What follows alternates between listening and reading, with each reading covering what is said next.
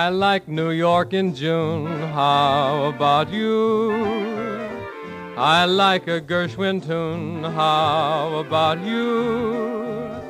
I love a fireside when a storm is due. I like potato chips, moonlight, and motor trips. How about you? I'm mad about good books, can't get my fill. And Franklin Roosevelt's looks give me a thrill. Holding hands in a movie show when all the lights are low may not be new, but I like it. How about you?